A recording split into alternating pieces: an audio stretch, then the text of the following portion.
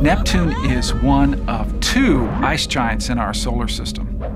It was discovered by a mathematical prediction rather than an observation. It has only been observed once, up close, by the Voyager 2 spacecraft in 1989.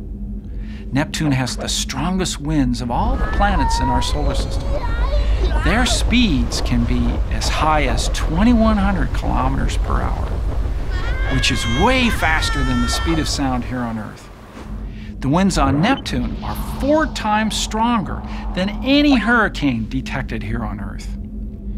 Neptune has a very thick atmosphere. It's a big gas ball, which basically means if you stand on it, you would sink.